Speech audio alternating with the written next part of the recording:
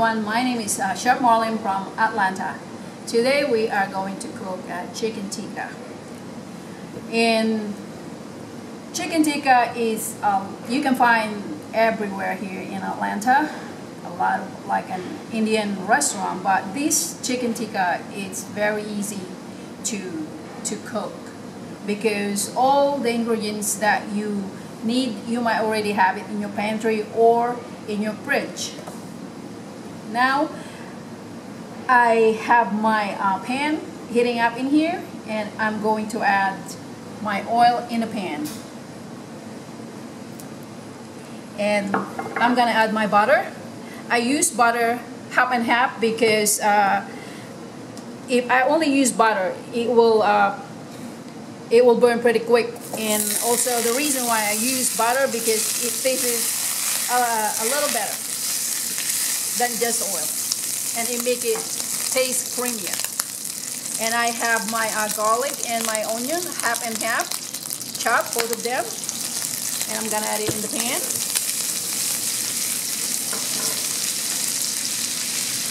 And stir it for maybe 30 seconds.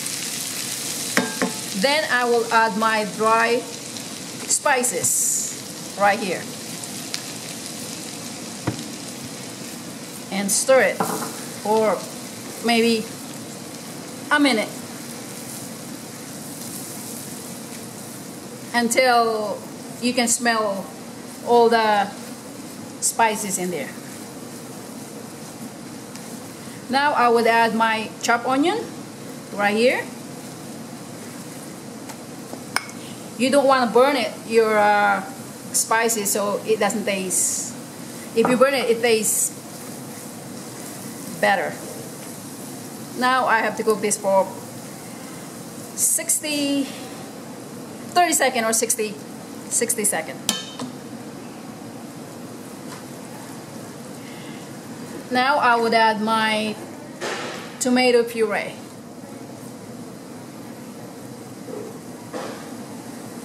So I'm gonna stir this tomato puree with my onion and maybe 30 seconds.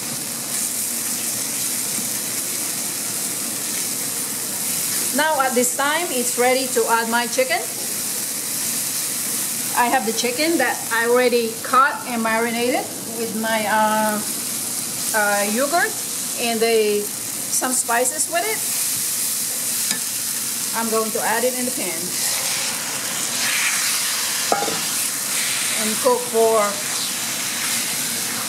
maybe 10 minutes or until it's really cooked. And now I'm going to add my chicken stock.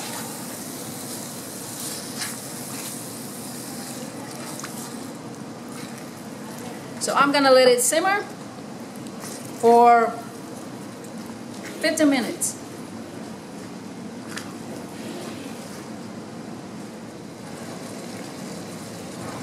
Now we're ready to add the cream.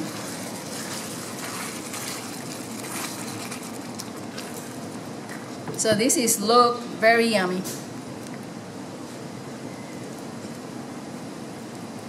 Now, what we're looking for this uh, this chicken tikka, we need like it's ready to uh, it's almost cooked, and you can uh, try to cut your chicken and it become like tender. That the it separate easier. Your chicken is cooked. It's ready to eat. So we'll just like simmer it for until the chicken is get done. And I have already cooked uh, chicken which is ready to serve and I just keep it in the oven so it keep it hot. So now I got right here and it is ready to serve right there.